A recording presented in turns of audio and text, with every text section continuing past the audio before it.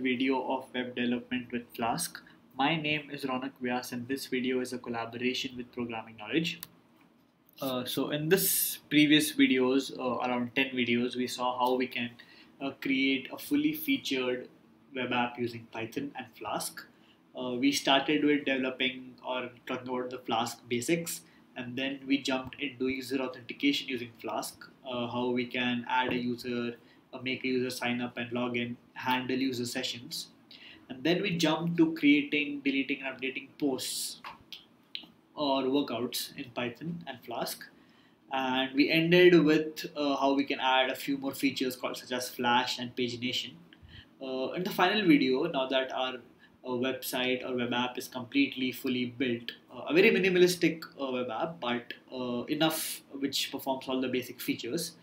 Now it is time to deploy our website onto the internet with the database. So we are going to use Heroku to do this. Uh, Heroku is a platform where you can uh, host and deploy your uh, web applications and they give you a very very easy way to do it. So uh, we're not going to use uh, the Heroku CLI. Uh, I think we can do this in a much more smoother way using just the GUI or the or the user interface provided by Heroku. All we need, all you need to push or deploy your website to the internet or web app to the internet is a GitHub account and an Heroku account. So before we move forward with this uh, video or tutorial, make sure that you have a GitHub account ready and you also have a Heroku account ready. It's completely free to make both of them and even today we're going to deploy our website or web app for free. So let's get started. So here I have my uh, folder inside which we have all the files. So let's just change the name first. So this is going to be pushups logger uh, because it contains the pushups logger app uh, with the init file and everything else. So now let's move into this and we're going to write some code, uh, not a lot of it, but just a little bit of code to see uh, what do we need to add to this, right? So, ah, my. Uh, we don't need to go here. We need to take it a step back. Yep, and we need to go here. So we need to uh, have some files around uh, our pushups logger app. So this is our app. Uh, let me just delete this and get out of the way. This is something which happens on my laptop. Don't worry about it. It's, it's how uh, I back up my files to the drive. Uh, so it has an icon file. So don't worry about that. So we have our pushups logger app, uh, which works perfectly, and we need to add a few files. So first, we need to have a requirements.txt file uh, which stores all the pip packages that we have used in our app. So we have used Flask, we have used Flask Alchemy, Flask Login, we have used, oh, where was that? Uh, Werkzeug security, I don't know how to pronounce that, but this dot security. So we have used so many packages and we need to have requirements.txt so that we can tell Heroku that before you start the application, you need to download these packages uh, and then start the application. So uh, usually you what you do or what people do is uh, they use something called a pip freeze uh, and that uh, saves all the uh, names of all the packages that you have in that environment.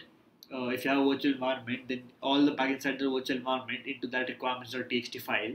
But I usually don't use that for small projects, so I'll show you something better.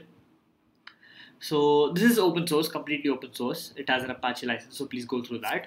And this guy uh, made this project called as pipreqs. So it generates the txt file for any project based on the imports, which is exactly what we want. And very easy to install pip install pipreqs and you're good to go.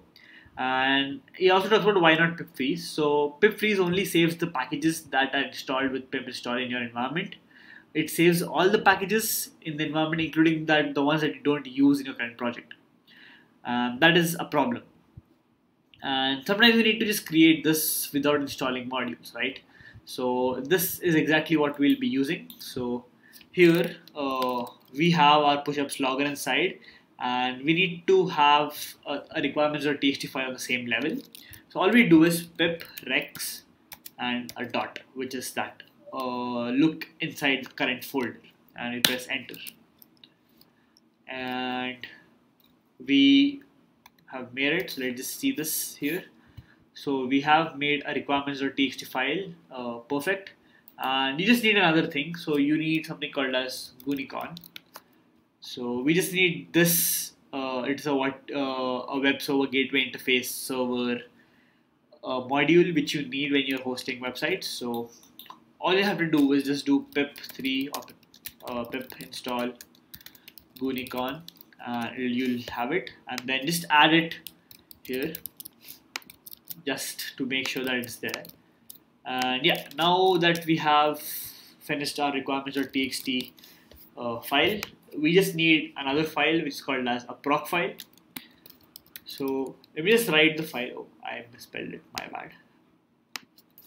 It's proc file so uh, as you can see we already have the Heroku symbol right here so the proc file is how uh, the project knows or how Heroku knows that what it needs to do with the project.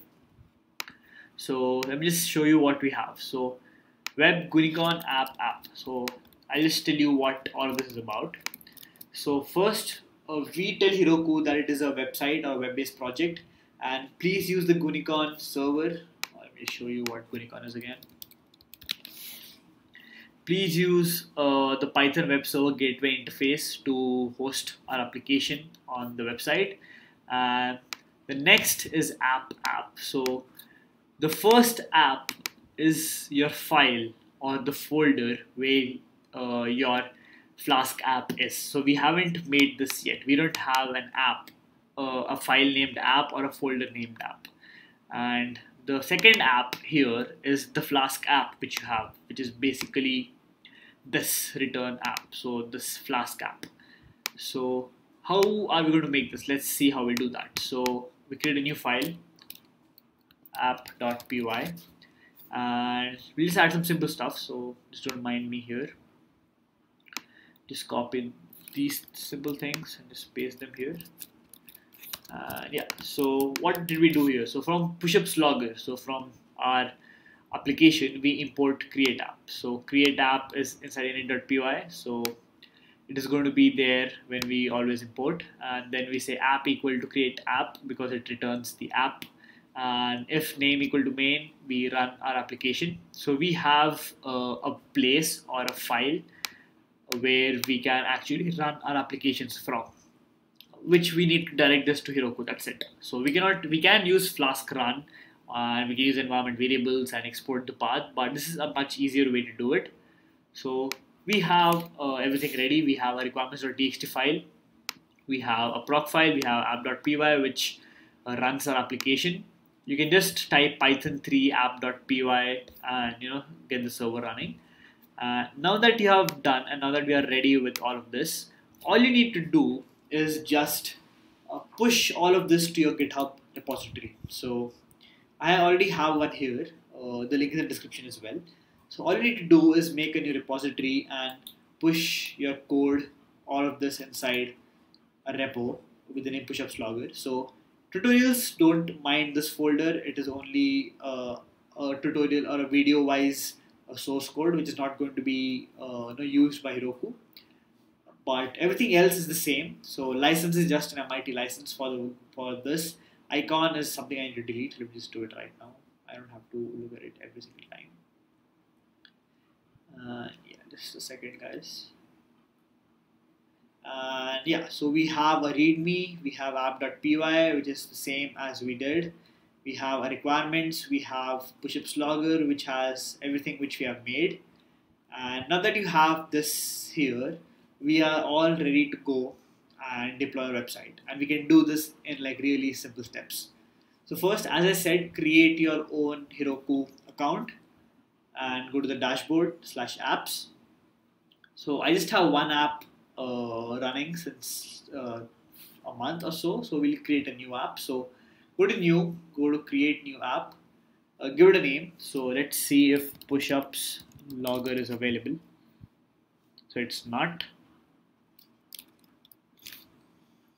so let's go to pups logger uh, thought please choose a better name than I did. I'm really sorry but pups logger it is. And let's say create app. Now uh, your app is created and you need a way to deploy it. So as you can see we can connect our github account to it. So since I'm already logged in uh, I just click on github and it connects my account here. But it'll just have, have you log into your github and authorize github and heroku uh, just to make sure that you know, there's nothing in between. And enter your repository name. So my repository name is pushups logger so push ups logger and I search. And here it is. And all I have to do is just type connect. And wait for this to connect. Now uh, we have some options here. So something called as automatic deploys. So basically whenever you add a new commit to your github repository uh, you do you want Heroku to automatically deploy the web app with the new comments? So for example I added a new feature on my application where you can not only track uh, your workouts you can have people comment on your workouts. So once I add this inside my app uh, all I have to do is commit the changes and they'll be automatically uh, taken in by Heroku and deploy with the new features. So that is what we, if you want it, then click automatic deploys. I do it anyway.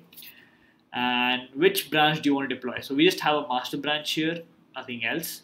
So we'll just say deploy branch and let's see what we get here and what how, how is Heroku working with this. So first Python app detected because we had the Gunicorn. Then we use requirements.txt so it's downloading all of it downloading the Python platform first. Then we have SQLite, all of the requirements that we want, and some requirements that are uh, required by our requirements. So all of that is happening right now.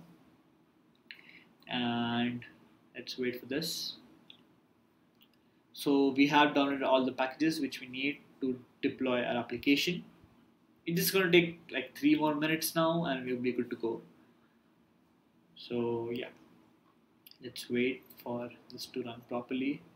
Then yeah. So procfile declares type web. So now Heroku knows that it's a web application and it has to use Gunicorn to deploy it. It's compressing and it's launching it now and and we're good to go. So we have pups logger.heroku deployed to Heroku. So now we can actually deploy our CR application in action so just refresh this once. And let's just make sure that everything is up and running. So activity. Uh, it is deployed successfully so click on open app. And as you can see our web application has been hosted on the internet using Heroku for free. So pupslogger.herokuapp.com is our website uh, you can go and check it out for yourself and it will, it will be definitely running from your uh, laptop as well because it is deployed to the internet. And again you can go to all workouts you can create your workouts you can sign up you can log in you can do all sorts of that. And you just play with it add some analytics add some graphs. And you can see your activities here you can see the overview. As you can see it is completely free there is no cost for it you can see the resources it's using nothing else free dynos how to deploy it. We have been using it via github so it's very easy to do it by github. And yeah so this is how you can deploy your application uh, on the internet using Heroku. All you need to do is have a github account uh, push your uh, files and your folders inside a repository. Then make sure it has app.py uh, to locate the app, requirements.txt and a proc file. And then you need a Heroku account where you just go to the dashboard, go to create new app and follow the steps and your app will be ready. So yeah, this is how we do it. Uh, we have successfully made a simple uh, Flask application which performs all the minimalistic features uh, a Web 2.0 web app has to perform. In the next set of playlists and tutorials, we'll talk about how we can create a REST API, only a REST API using Python Flask.